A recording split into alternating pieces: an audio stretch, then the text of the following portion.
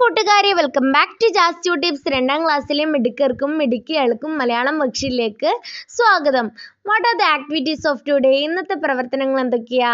മുളപ്പിച്ച പയർവിത്തിന് വളരാൻ വെള്ളം ആവശ്യമാണോ എന്ന് കണ്ടെത്താനുള്ള പരീക്ഷണം നടത്തി നിരീക്ഷണക്കുറിപ്പിൽ രേഖപ്പെടുത്തുക അഥവാ ഒരു പട്ടിക തയ്യാറാക്കുവാൻ കൂടിയുണ്ട് ജലസ്രോതസ്സുകളുടെ നിരീക്ഷണക്കുറിപ്പ് തയ്യാറാക്കുക ജലസ്രോതസ്സുകൾ മലിനമാക്കുന്ന സാഹചര്യങ്ങൾ എഴുതുക എന്നീ ഈ മൂന്ന് പ്രവർത്തനങ്ങളാണ് ടീച്ചർ കൂട്ടുകാർക്ക് നൽകിയത്. ആദ്യത്തെ പ്രവർത്തനം എന്താണ്? നിരീക്ഷിച്ച് എഴുതാം. രണ്ട് ചിരട്ടകളിൽ പയർ വിത്തുകൾ മുളപ്പിക്കൂ. മുളച്ചു വന്ന ശേഷം ഒരു ചിരട്ടയിലെ ചെടിക്ക് മാത്രം വെള്ളമൊഴിക്കുക രണ്ടാഴ്ച രണ്ട് ചെടികളും നിരീക്ഷിക്കൂ. എന്താണ് സംഭവിച്ചത്? എഴുതൂ. കൂട്ടുകാരെ ടീച്ചർ നാലാം ദിവസം തൊട്ട് എഴുതുവാനാണ് പറഞ്ഞത്. നാലാം ദിവസം തൊട്ട് ഏഴാം ദിവസം വരെയുള്ള കാര്യങ്ങൾ നമ്മളിവിടെ എഴുതി ചേർക്കണം. കൂട്ടുകാരെ ഇവിടെ ഞാൻ ആദ്യം ഈ പട്ടിക പൂർത്തിയാക്കി തരാം. അതിനുശേഷം കുറിപ്പിലോട്ട് കടക്കാം. നാലാം ദിവസം ചിരട്ട ഒന്ന് അഥവാ വെള്ളമൊഴിച്ച ചിരട്ടയ്ക്ക് പയർ വിത്തുകൾ വളരാൻ തുടങ്ങിയിരിക്കുന്നു. ചിരട്ട രണ്ടോ ഒരു മാറ്റവും സംഭവിച്ചിട്ടില്ല.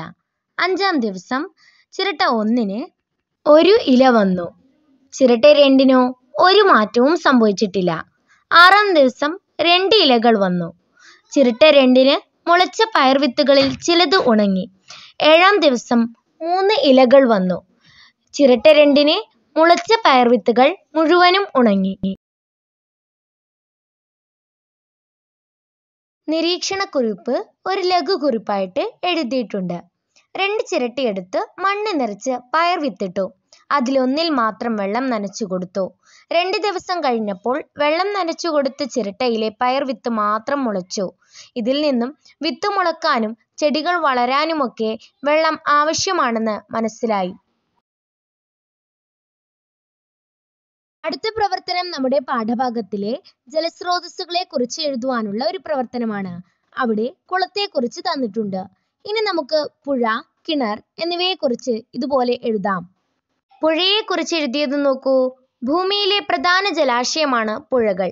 മലകളിൽ നിന്നും നീരുറവകളിലൂടെയും മഴവെള്ളം മുഖേനയും തോടുകളും അരുവികളും ചേർന്നുമെല്ലാം പുഴകൾ രൂപപ്പെടുന്നു. പലരുടെയും ഉപജീവന മാർഗമായ മത്സ്യബന്ധനം നടത്തുന്നത് പുഴയിൽ നിന്നാണ്. പുഴയിൽ മത്സ്യങ്ങൾക്കു പുറമെ ആമ ഞണ്ട് നീർനായ തുടങ്ങിയ ജീവികൾ താമസിക്കുന്നു. അടുത്തത് കിണറിനെ കുറിച്ച്. നമ്മുടെ നാട്ടിലെ ഓരോ വീടുകളിലും കിണറുകൾ കാണപ്പെടുന്നു. ചില വീടുകളിൽ കുഴൽ കിണറുകളും കാണപ്പെടുന്നു. വീട്ടിലെ ആവശ്യങ്ങൾക്കായി കിണറിലെ വെള്ളത്തെയാണ് ആശ്രയിക്കുന്നത്. കിണറിലെ വെള്ളം മലിനമാകാതിരിക്കാൻ ആൾമുറ കെട്ടിയും വല വിരിച്ചും സംരക്ഷിക്കുന്നു. കിണറിലെ വെള്ളം വൃത്തിയുള്ളതും ശുദ്ധിയുള്ളതുമാണ്. അടുത്ത പ്രവർത്തനം ജലസ്രോതസ്സുകൾ മലിനമാകുന്ന സാഹചര്യങ്ങൾ കണ്ടെത്തുവാനാണ്. ഒന്ന് ഗാർഹിക മാലിന്യങ്ങൾ ജലസ്രോതസ്സുകളിൽ നിക്ഷേപിക്കുന്നു. രണ്ട് ഫാക്ടറിയിലെ മാലിന്യങ്ങൾ ജലസ്രോതസ്സുകളിലേക്ക് ഒഴുക്കുന്നു. മൂന്ന് ജലസ്രോതസ്സുകളിൽ നിന്നും വാഹനങ്ങൾ കഴുകുന്നു. നാല് ജലസ്രോതസ്സുകളിൽ നിന്നും കന്നുകാലികളെ കുളിപ്പിക്കുന്നു. അഞ്ച് അറവുശാലയിലെ മാലിന്യങ്ങൾ ജലസ്രോതസ്സുകളിൽ നിക്ഷേപിക്കുന്നു. ജലവുമായി ബന്ധപ്പെട്ട് ഈ പാഠത്തിൽ പഠിക്കേണ്ട പ്രധാനപ്പെട്ട ഒരു കാര്യം കൂടിയാണിത്. ഇന്ന് ഓൺലൈൻ ക്ലാസ്സിൽ ടീച്ചർ തന്ന പ്രവർത്തനങ്ങളിൽ കൂടാതെ ഇതും കൂടി കൂട്ടുകാർക്ക് ഞാനിത് നൽകിയത്. കൂട്ടുകാർ ഇതുവരെ എന്റെ ചാനൽ സബ്സ്ക്രൈബ് ചെയ്തിട്ടില്ലെങ്കിൽ സബ്സ്ക്രൈബ് ചെയ്യുക. ഇഷ്ടപ്പെട്ടാൽ ലൈക്ക് ചെയ്യുവാനും കൂട്ടുകാർക്കൊക്കെ ഷെയർ ചെയ്യുവാനും കമന്റ് ചെയ്യുവാനും മറക്കരുത്.